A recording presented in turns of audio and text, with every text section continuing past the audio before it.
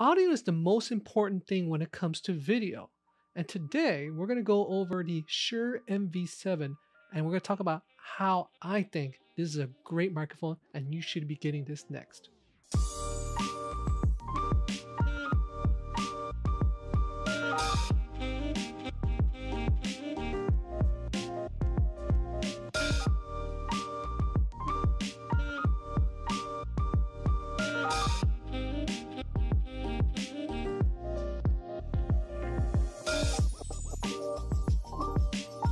Inspired by the legendary SM7B, the MV7 uses USB and XLR outputs for use with computers and professional interfaces. The SM7B was a legend in 2007 and 2008 when podcasting became popular. People talked about it. Gamers got a hold of it. It was advertised as a voiceover microphone and was even used by Mick Jagger of the Rolling Stones during recordings. Today, the MV7 took all of the good things that made the SM7B popular with podcasters and updated it with a new body. It's a dynamic microphone that's designed to capture loud, strong sounds like drums and loud vocals. On the back, you'll find an XLR balance output, headphone monitoring jack, and a micro B jack that leads to a computer's USB port. The whole microphone is plug and play and you don't need an app to run it.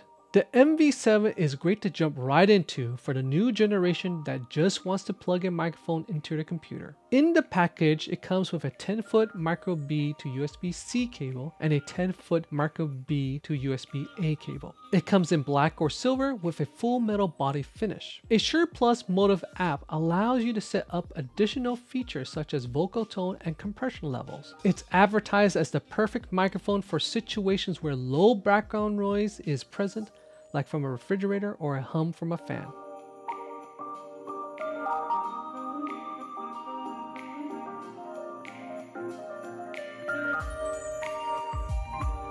There's two types of microphones, dynamic and condenser microphones.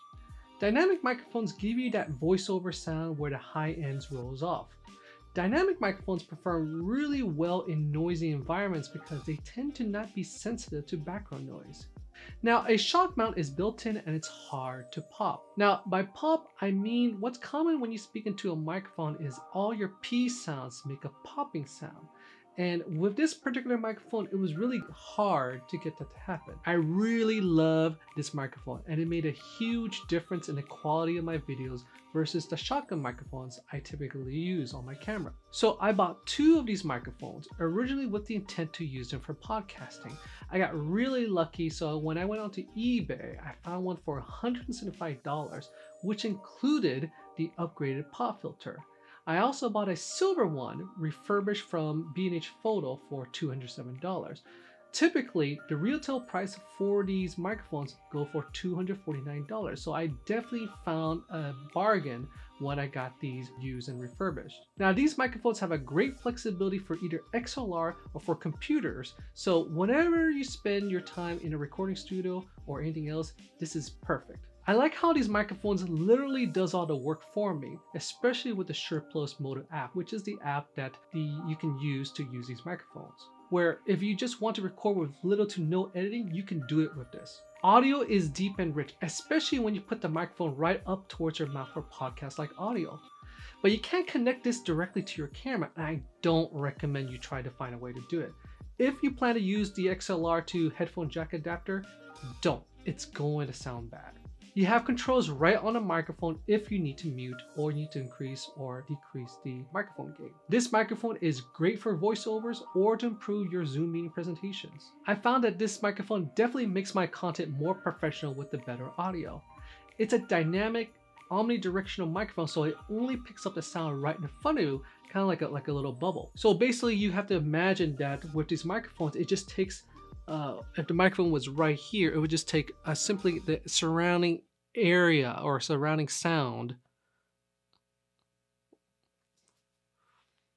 The quality of the audio does drop if you go further and further away from it. There's a couple ways you can set up this microphone. You can set up on your desk, you can set it on a arm stand, or you can set it up on a tripod. You want to make sure the microphone stays right in front of you. If you try to move the microphone side to side, it's not going to pick up your sound very well. Don't put this microphone right in front of your mouth because it's not designed to do that. It's designed to be placed right on the side. So you want to be talking past it as opposed to talking towards it. Something I don't like about this particular microphone is the fact that the branding is on the side. Now, if you look back to the SM7B, it's a completely black body with a metal finish. For the MV7, the logo is plastered on both sides of the microphone. So it loses that look that you want if you plan to video record your podcast. I personally would like to have been black like the SM7B, but it's not a big deal. There are some Um, do-it-yourself hacks where you can actually black out the, the logo. Now the key difference between the SM7B and the MV7 is that the MV7 is designed to pick up vocals and singing, whereas the SM7B is more on the low ends like picking up the bass or drums. Another key feature of this microphone is that it's really great at playing back dad jokes and I have a great sample of it right here. I cut down a tree just by staring at it. I swear, I saw it with my own eyes.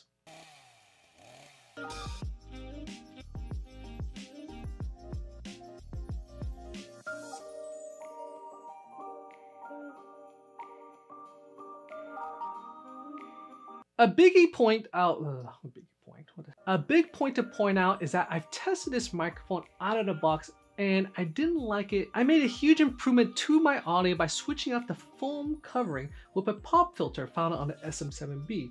Once I did that, I felt like I heard a huge difference in my sound quality. I recommend buying the pop filter designed originally for the SM7B as it fits and it makes your audio 10 times better on the MV7. I think you'll thank me later if you do so, and it's only $14 on eBay. Right now, you're hearing the audio unedited. The only thing I've done to this audio is I've increased the gain so that way it just normalized. That microphone did all of the work for me via the Motiv app. And if you are someone that edits audio and post, you know how long it can take to clean it up. There's two components to the MV7, the microphone and the app. And if you really want to get the most out of this microphone, you want to use the app. And the best thing is it's free. What's really great about this microphone also is that you can plug in your smartphone. You can set this microphone on a table stand, a tripod, or an arm stand, and it all depends on what you're doing. When I want the microphone out of frame but close to me, I set up on an arm stand and position the microphone just above my head. I do that with a 48 inch Samson arm stand that I bought off of uh, Amazon. And if you're interested in knowing about that brand, I'll go and put it in the description below. For voiceovers where I don't have to be on camera, I like to have the microphone on its stand on a table. A minor complaint I have about this microphone is a carrying case. Now for me, I like to keep everything in carrying cases. I haven't been able to find any storage cases designed for the MV7 or at least two MV7s. I would prefer to have it in a harder case. Compared to other microphones, I had considered the Blue Yeti which has a huge number of reviews on Amazon, but I didn't get it because it didn't look good. And where visuals are really important for me, I got the MV7 instead. Now we talked about the microphone itself, so let's shift over to the ShurePlus Motiv app which is free to download. Now this app has two modes, auto and manual mode. Auto is great so that way you don't have to fiddle around with it too much, and manual is if you want a full control, especially those that plan to do post editing. I personally like to use the manual because I like to change the way I sound on my microphone depending on what I'm doing. But for those who are new and just want to get started while sounding great, definitely just take advantage of the auto mode. Now in my next video, I'm going to go over in detail the settings in the Shure Motiv app and how each setting makes your voice sound. So definitely subscribe so that way when the next video comes out, you'll be there to see it. In the meantime, we're just gonna go over the app. Now, if you look at the app, there's just two main settings. There's the auto mode and the manual mode. With auto mode, you basically just have to select how far your microphone is for you. For the near mode, it's a matter of being zero to six inches away from the microphone. And as for far mode, it's six inches to 18 inches. So depending on how far you place in the microphone, definitely click the appropriate button. Now, if you look at the bottom, there's natural, dark, and bright. So natural is just basically mm, your voice pretty much unedited, whereas the bright is where the presence has been increased or boosted, and dark is it brings out more of the basser sound. So it's very great if you're doing voiceovers, kind of like a um, movie uh, movie voiceover. Now, if we look over the manual app, the manual has a lot more different options. One of the great things about this one is the equalizer. You can leave it as balance or flat. You have the rollover, which basically minimizes background noise like a fan in the background or a refrigerator humming in the back. And then you have presence, which is basically bringing out the midtones and makes your voice a little bit more, so to speak, brighter. Besides that, you have, of course, microphone gain. You can mute the microphone and also you can set compression. Now, again, we're not going to cover too much about the details about this app. We'll just cover it on a next video next week.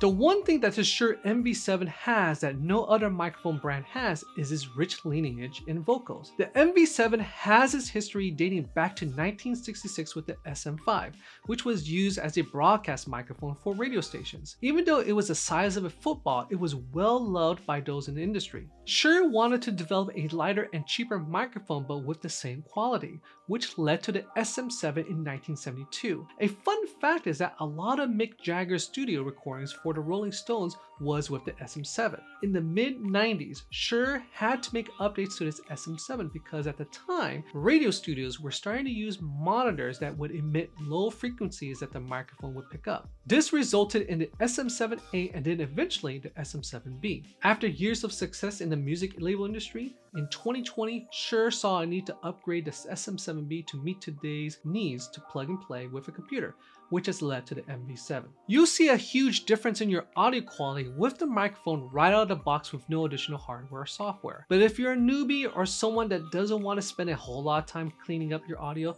this microphone could be for you. The MV7 unlike the SM7B, can be used with computers, which makes it great for those who don't have the time to mess around with a preamp or mixer. I think this is a great microphone if you want the flexibility of recording on your computer or more professional equipment like a mixer. And it's also a great way to get the qualities and awesomeness of the legendary SM7B. It's specifically designed for speech and vocals where it enhances mid-range sounds. The huge benefit is that it doesn't pick up background noise like a condenser microphone, but you are going to pay more to get that quality. So this microphone works best in a furnished room so that any sound that's not reaching the microphone doesn't bounce back at you or at least the furniture is going to absorb as much as it can. So if you have a furnished room with a carpet, couch or pillows, whatever is in the room, it's going to help to absorb some of that sound which limits your reverb and your kind of basically tunnel sound. I tried this microphone in a less than furnished room and it had reverb or echo which didn't bring out the best in the microphone, which basically means that even if you have the best microphone, even if you have the MV7, which is a great microphone, your audio is still going to be bad if you just pick any place to record. I find that this microphone works best if it's really close to your mouth. Anything beyond 18 inches between you and a microphone and you start to lose audio quality. So if you can, set up this as a boom mic over your head. I set this up in my studio on an arm stand just above my head and it was great. If you're unsure of how to set up this microphone with the app, auto level mode is perfect and keeps your audio consistent throughout the recording. I spent almost no time post editing besides increasing and normalizing the gain ever since I got this microphone. I think you should buy this microphone if you're thinking about getting a microphone where audio quality is important. Now the thing is, I'm not affiliated with Shure, I'm not sponsored to say anything, I'm just happy with this product. For its amazing features, extraordinary sound quality, clean aesthetics, and the flexibility for use with professional equipment and computers, I give it 5 stars. If you have questions about this microphone or you need a little bit more help with it, definitely leave a comment below and I'll be happy to help. Next week, I'm going to go over the best settings you can use to get the most out of this microphone on Wednesday at 8 p.m. Pacific Standard Time. That's it for this video. If you enjoyed it, click the uh, like button. And if you enjoy my videos, click the subscribe button. I don't get paid for this, but clicking the subscribe lets me know that I'm doing something right.